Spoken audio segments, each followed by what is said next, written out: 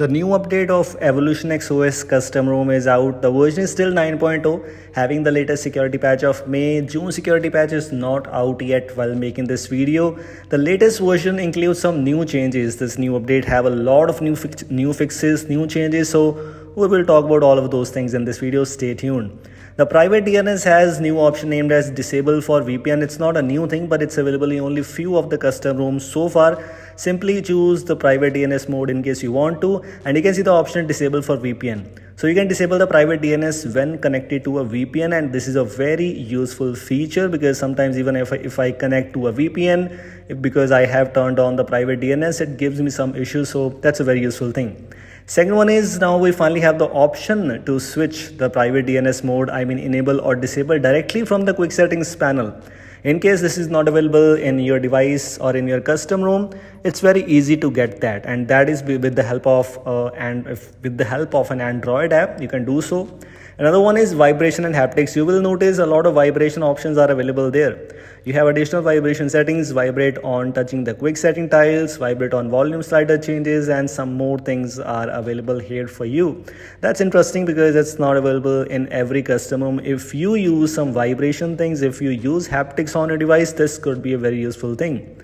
If I move on to the security and privacy options, here comes some very interesting features available there we, ha- we have literally similar kind of things available there but if we move on to more security and privacy options you will see the option named as hide developer status hide screen capture status and finally no storage restrict. These amazing features are a part of evolution xos custom rom now. Previously these features which where i found was project infinity i guess or even in the everest os but in this case we finally have these options present in Evolution XOS custom ROM. Hide developer status was already available there, but hide screen capture status and no storage restrict are now present here. Simply the option named as hide screen capture status, like if you use Snapchat, Instagram, if you take a screenshot, that screenshot will not be detected and no storage restrict, kind of like if you choose a folder, like in some cases you have error that you can't choose that folder, but if you enable this, you will be able to choose the folder there. Circle to search option is also finally present here. It was already there, I guess, previously. You have to enable some spoofing options if it is not available by default.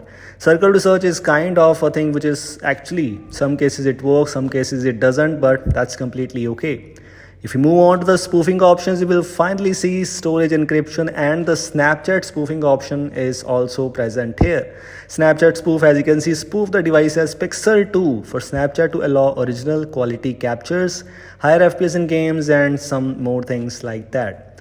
If you move on to the quick settings panel, you will see Android 11 style quick settings panel. If you want to enable it, simply choose the circle tiles, then adjust the rows and columns and then it's completely okay everything else is kind of same. We also have the bluetooth auto on option is present and yes that's quite good. The wi-fi option is not there. It's only bluetooth. So if you click on bluetooth tile it will automatically turn on the bluetooth by default even if you move on to the status bar option you will see the option named as auto hide on launcher in the clock and date same like MIUI or HyperOS, like if you have, if you are on the home screen, you have clock widget available there, you can hide the clock directly from the status bar. So that will give you good home screen UI, home screen look, you can say. And that's kind of really okay. Everything else is just kind of similar here in the status bar options. So these were some noticeable changes. And if you move on to the lock screen options, you will not get anything extra like lock screen, custom lock screen styles. At least the Evolution X OS version 9.0, which is based on Lineage OS, we do not have these features at least while making this video. Everything else is kind of same as you can see it is uh, having the pixel launcher pre-installed which is good of course if you want to use circle to search you must have pixel launcher installed. If you're using any other launcher doesn't matter if your device has a circle to search feature or not. If you have other launcher circle to search will never work for you.